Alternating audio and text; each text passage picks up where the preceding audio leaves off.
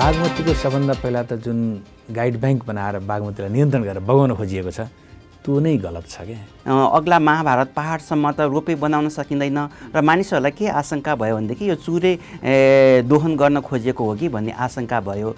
आशंकाकै भरमा चाहिँ यसको आलोचना गरियो? र एउटा चिन्तन दिमागमा हट्नुपर्छ हाम्रो नेपालीहरूमा छ यो चिन्तन।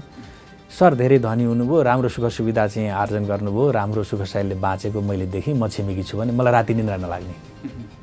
यो चिन्तनले गर्दा बिगारेको यो चिन्तनले हो क्या अर्काको प्रगति भएको देख्नु होइन उद्यमीहरूले कमाए बाबा उसले काम गर्छ उसले लगानी गरेको छ घर खेत जम्मै थुप्रै छ। जम्मै डिपोजिट छ ब्याङ्कमा कति आत्महत्या गर्न चाहिँ अब बेर छैन कि? ढुङ्गा गिट्टी र वातावरण संरक्षण। बारे यो बहस आइतबार राति आठ बजे एपी वान टेलिभिजनमा। र साथै नेपाल वाच मल्टिमिडियाको वेबसाइटमा।